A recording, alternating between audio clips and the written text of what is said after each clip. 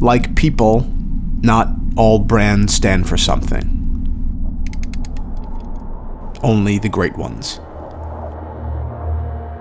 When a 23 year old watchmaker from what is now the Czech Republic took his skills from the benches of a young Tiffany and Company to start his own brand, his namesake, he stood for something. He stood for something that he, from that day forward, always would prospect a better tomorrow, a smarter, richer, freer future. 148 years later, Bulova is celebrating his pursuit with two new releases.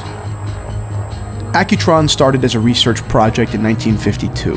Bulova saw the limitations of even fine mechanical watches in a world more advanced by the second, and needed something different, something evolved and not just for civilians, but for astronauts and spies. By 1959, in the heat of the space race, NASA bought in.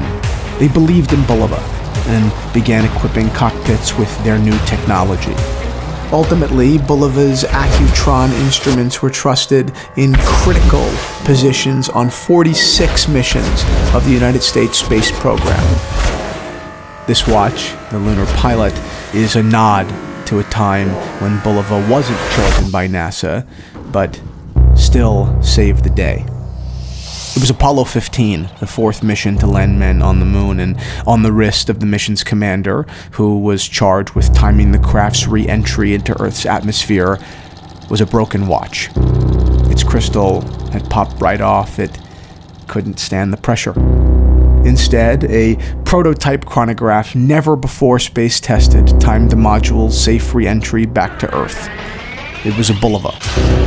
A watch never built to serve this mission performed, when even one that was, failed.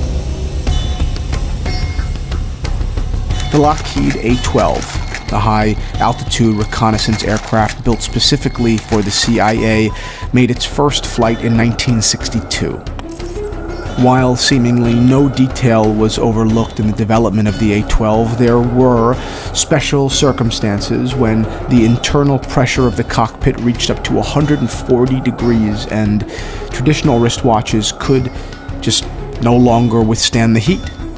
Old technology was no longer reliable, but Bulova's Accutron was and each pilot was issued theirs, which would go on to serve them as they flew at speeds well above Mach 3 at altitudes up to 90,000 feet over North Vietnam, Laos, and North Korea including a 1968 mission that located the USS Pueblo after its capture by the North Korean Army.